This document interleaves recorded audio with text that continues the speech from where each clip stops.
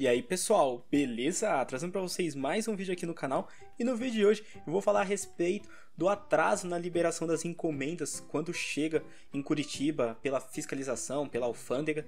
É, pelos relatos que eu vi de muitos atrasos, o pessoal tá um pouco desesperado, apesar que já nesse mês de dezembro já deu uma boa caminhada, mas eu vou dar uma comentada aí, falar um pouco dos prazos que demorou, mostrando o meu próprio relato aqui que eu tô aberto aqui para vocês e também os comentários que eu vejo no canal, nos grupos de importação, beleza? Lembrando que isso vale é, para celulares, para produtos que tem mais chances de serem taxados, como tablets também, às vezes notebooks, não sei se alguém importa isso, talvez não, não compense tanto, eu acho, na minha opinião, né? Mas enfim, são esses os tipos de produto. Então se você já gostou da ideia de vídeo, já deixa seu like e se inscreve aqui embaixo no canal se você gosta de assuntos de importação e tecnologia no geral. Então bora pro vídeo. Bom, pessoal, vou começar primeiro explicando a situação para quem não sabe do que está acontecendo, é, não sabe se, tá sua, se a sua encomenda está atrasada ou não. O que, que eu percebi?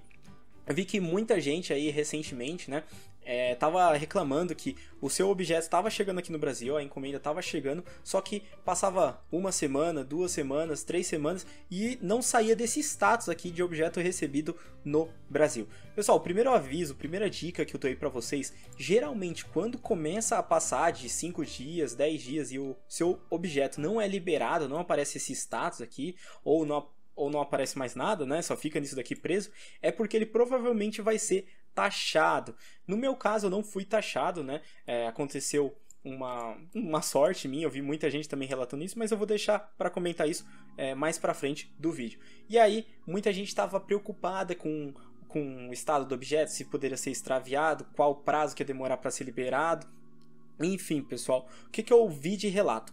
Eu vi que muita gente estava com as encomendas chegando em novembro, lá para o final de novembro. E por que isso? Provavelmente é por conta do 11 do 11, tiveram muitas vendas nesse período e aí a fiscalização brasileira não deu conta de fazer toda a fiscalização de inúmeros produtos que chegaram de lá da China, também de outros países que tiveram promoções, né, aqui no Brasil. E aí eu percebi que quem recebeu a encomenda lá pro final de novembro, comecinho de dezembro, tava chegando a demorar duas, três, até um mês, não foi a maioria, né? Mas eu vi gente demorando até um mês para ser liberada a sua encomenda.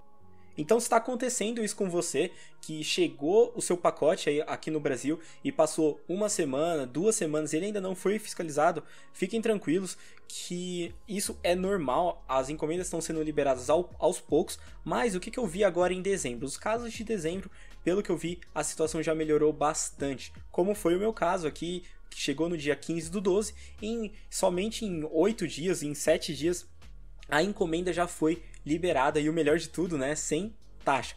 Meu caso não foi o único, já falando agora sobre a taxa, né? Dela ser liberada sem taxa, eu vi já outras pessoas falando que receberam um celular sem taxa.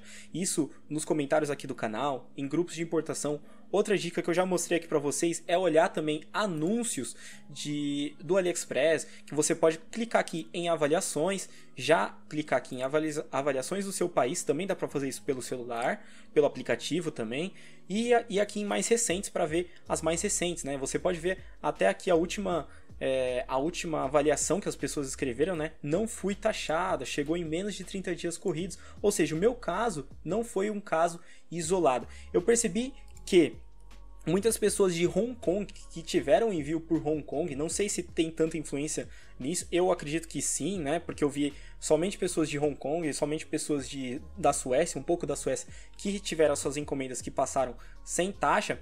Mas é, já fica a dica, se vocês estiverem interessados nesse celular aqui, Pokémon 3, que eu já fiz vídeo aqui no canal, esse vendedor tem uma chance maior de enviar pelo envio de Hong Kong. Você pode também ver, eu já falei essa dica nas fotos aqui das avaliações aqui dos pacotes que as pessoas postam, né? Por isso que é sempre muito bacana, deixa eu fechar aqui o anúncio.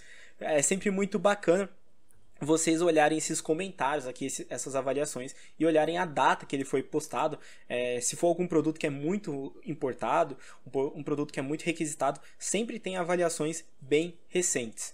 Então, resumindo, pessoal, o prazo de mais ou menos duas, três semanas até chegar a um mês é um prazo normal até fiscalizarem a sua encomenda. Mas, como eu disse, né, encomendas que chegaram no mês de dezembro já estão sendo liberadas numa velocidade um pouco maior. Espero que vocês tenham gostado do vídeo. Qualquer dúvida podem deixar aqui no campo dos comentários.